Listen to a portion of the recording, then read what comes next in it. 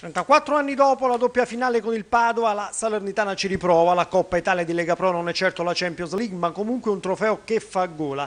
La proprietà è stata chiara dopo la Supercoppa dello scorso anno, vogliamo anche la Coppa Italia, hanno detto mezza Roma e lo titolo in questi giorni. Gregucci ha recepito il messaggio, la Coppa Italia può far da volano al finale di stagione che di fatto rappresenta il grande obiettivo della stagione. Questa sera spazio a qualche giocatore meno utilizzato, ma ci saranno pure i titolari perché la Salernitana nella diretta di Rai Sport a partire dalle 20 40 non vuole affatto sfigurare, anzi vuole dare un segnale forte alle rivali della prima divisione.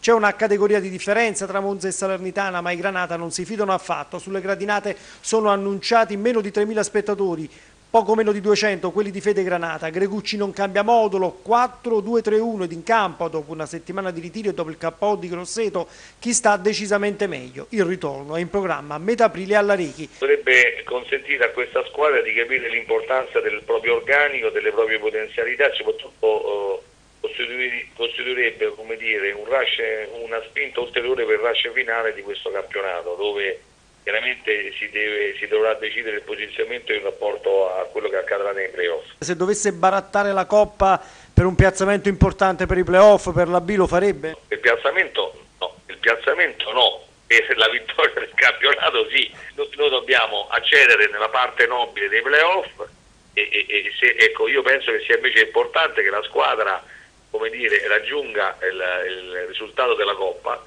perché eh, può costituire un ulteriore elemento di autostima che consente di poter nel rush finale di questo campionato far esprimere al meglio la squadra